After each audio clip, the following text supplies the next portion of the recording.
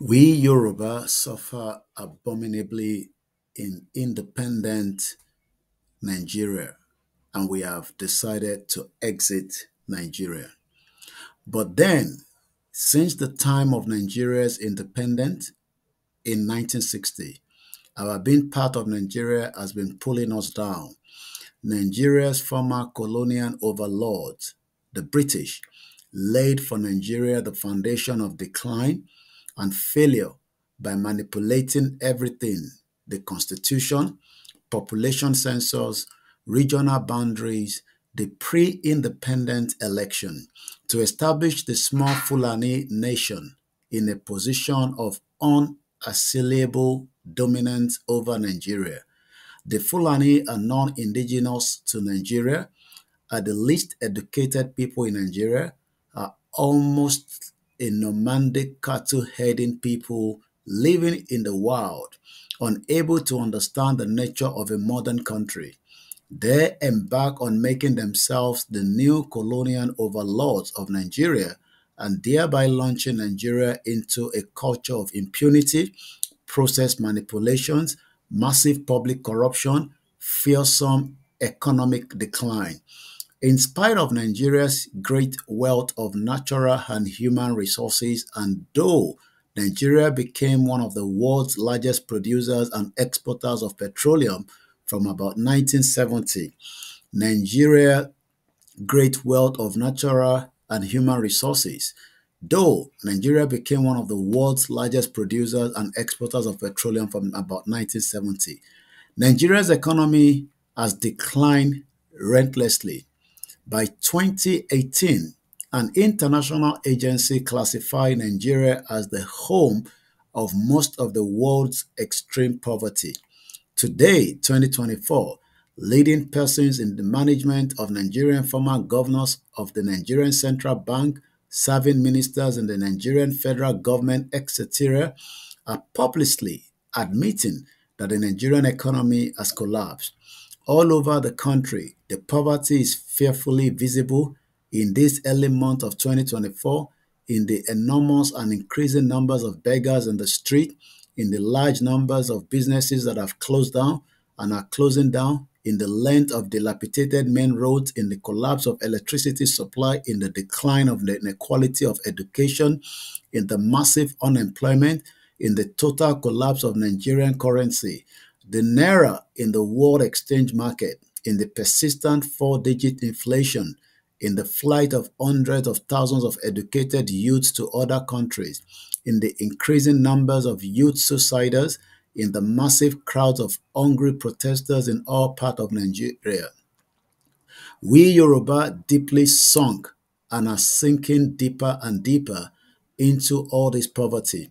In addition, since 2015, the Fulani, greatly emboldened by their success in dominating Nigeria, have embarked on an agenda aimed at conquering and subjugation all the non-Fulani peoples of Nigeria, with the confidently avowed objective of turning all of Nigeria into a Fulani homeland.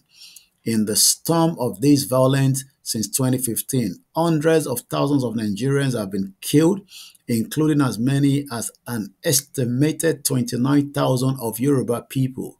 Yoruba farmers have been forced to abandon farming altogether, and the agricultural economy of the Yoruba nation has been almost totally destroyed, thereby foisting terrible food insecurity on Yoruba people for years and years to come. Since more and more of the marauding Fulani are still being brought from all over West Africa. The killings, the destructions of our farms and villages, the kidnapping of thousands of people, and the extortion of large amount of money from our people are all continue. We Yoruba people have been intensively devastated by all this deepening disaster of Nigeria as Nigeria retrogressed on all fronts. It dragged Yoruba land down with it. Moreover, particularly, policies and actions aimed against the Yoruba further hurt Yoruba interest. The military dictatorship seized important Yoruba assets that Yoruba people had created in the western region in the 1950s, schools and hospitals that had been established by the state government, private agencies, and individual Yoruba persons and that enjoy very competent management by their founders, Yoruba Cocoa Export Management System, Yoruba Radio and Television institutions, the proud university that we Yoruba people built in Ile-Ife. Even the Yoruba Regional Sports Stadium, most of these assets were then poorly managed or deliberately neglected and left to decline and perished. Even though our Yoruba region continued to command most of Nigeria's crumbling economy, ever intensifying poverty became the lot of most Yoruba people. The most visible and most painful part of the poverty was the devastating neglect of the Yoruba youth because of the destruction of the economy. Countless thousands of Yoruba youth, most of them graduates of universities and colleges, pile up year after year as unemployed with the federal government and federally controlled state government doing nothing to help. Many of the youths managed to flee to other countries. Many tried to reach Europe by crossing the Sahara Desert and the Mediterranean Sea, and some of these perished regularly in the desert and the sea. Some of the youth who were stuck in Nigeria plunged into crime, criminals caught, drug abuse. The quality of Yoruba political leadership rapidly crashed too, as many Yoruba leaders were sucked into the intensive and horribly undemocratic governance, election rigging, and the arrogant and all pervading public corruption that are the character of Nigeria. But the worst finally came under the presidency of a Fulani man, Muhammadu Buhari, president of Nigeria 2015 until 2023. Under President Buhari, the Fulani agenda over Nigeria matured fearfully. It was advanced in it was advanced with two initiatives and from two directions.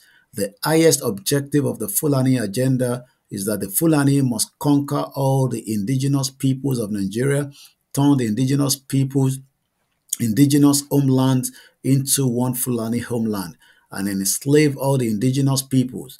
The success achieved by the agenda are already staggering. First, the Fulani have succeeded greatly in propagating a doctrine among the masses of uneducated and poor Fulani people of all West Africa. The doctrine that Allah has given all the land of Nigeria to the Fulani nation that has never had a homeland, and that the Fulani are to possess it by all by conquest. Hundreds of thousands of Fulani from most countries of West Africa, influenced by this propaganda, have relocated to Nigeria to partake in the conquest and violent possession of Nigeria. It is a phenomenon propaganda success. President Buhari directly hated this success by announcing that people are free to come to Nigeria from any part of Africa without passport or entry visas, a coded message to the masses of illiterate Fulani flocks. The masses of Fulani Mujahideen militarized masses of four flocks that are being brought to Nigeria served as the foot soldiers of the violent conquest initiative, spreading all over Nigeria, killing, maiming, destroying farms and villages, raping women, kidnapping people, and extorting ransom, forcing countless farmers to abandon farming, seizing and remain, renaming villages all over the Nigerian Middle Belt, establishing hideouts in the countless forest locations in most part of southern Nigeria, including Yoruba land, and spreading out violence from there. And then there is the government based aspect of the Fulani agenda. This is the domain of the Fulani men and women who from their positions in the President Buhari's administration set themselves the duty of filling almost all the key positions in the Nigerian federal establishment. and all key positions in Nigeria's security apparatus Army, Air Force, Navy, Police, Secret Services, Immigration Services, Port Authority with Fulani people. By the end of President Muhammadu Buhari's presidential term in May 2023, the Fulani had succeeded greatly in taking over Nigeria's federal government and its security forces altogether. The Fulani had by early 2023 come close to their dream of conquest of Nigeria. In the last month of Buhari presidency, the simple act of changing the design of Nigeria's paper currency note was turned into a massive source of suffering for Nigerians. At the instructions of the government, people surrendered their old currency notes to the banks, but when people demanded the new note, the banks usually had none to give. Therefore, even rich people who own large amount of money in banks had no cash to spend. Commercial life fell into utter chaos. People were desperately rushing to banks and fighting bank officials, forcing bank officials to flee over walls of, and fences. In many towns, people destroyed or burnt down bank buildings. Desperate men and women stripped naked in banking halls. Some committed suicide across the country. Many banks closed because of the angry crowds in front of the banks. It became an hazard to go to banks in most part of the country. The Nigerian Supreme Court ruled that the whole currency note should return to circulation, but the executive government ignored their ruling. The causes of all this destructiveness is the incompetence of the Nigerian government coupled with the government's constant strategy of imposing poverty and want on the people in order to make them more controllable, subdue them. Virtually all Yoruba people now want their Yoruba nation to quit Nigeria. Nigeria is no longer one country. It is a chaotic stack of insecure, distressed, and maturely hostile nationalities a failed state in the estimation of the informed world. The two things now keeping the chotic stack together are first, the common people's fear of more blood, and second, the resolve of some of the elite of various peoples of Nigeria to hold on to their shares in the Nigerian culture of public corruption and timidity and insensitive of the most of the rest of the elite to act purposefully decisively towards peaceful separation of their various nations from Nigeria. As things are going now, a blood-soaked dissolution is becoming inevitable. On February 24th and 26th, the Fulani acting through their topmost nationalist organization, the Fulani Nationalist Movement, issued two declarations of war against the rest of Nigeria, against the president, the federal government, and the peoples and the state government of all parts of Nigeria. Their statement announced that they did not accept the president of Nigeria as their president, that they would overrun Aso Rock, the seat of the federal government, take Aso Rock and use it as a base for conquering the peoples and government of Nigeria, and that they would burn down everything in Nigeria. Their declaration then ordered all Fulani to proceed immediately to all parts of Nigeria to fight and bring down all government. Following their declaration of war, the Fulani immediately commenced war against all sections of Nigeria in Yoruba land on January 25th on the Lagos-Ibadan Expressway, the busiest highway in Yoruba land in Nigeria. Fulani militia men burst on the highway from the forest, forced a local chairman of a national political party out of his car, kidnapped him into the bush and later demanded 200 million naira for his ransom. On January 27 in Kwara State, Fulani kidnappers adopted a student from the campus of Ilorin University. On January 27 in Oyo State, Fulani militiamen adopted the chairman of a public corporation and took him away into the forest. On January 29 in Oyo State, a local church pastor was attacked on his farm and killed by Fulani militiamen. On January 29 in Ekiti State, Fulani terrorists wielding AK-47 rifles attacked the very top of Yoruba society and culture by killing two Yoruba Obas on a highway. A third Oba escaped on January 30 on the road south of the Ekiti city of Emure. in the far south of Ekiti State, Fulani kidnappers kidnapped 14 school children returning from school in their school bus and later demanded 200 million naira for their ransom.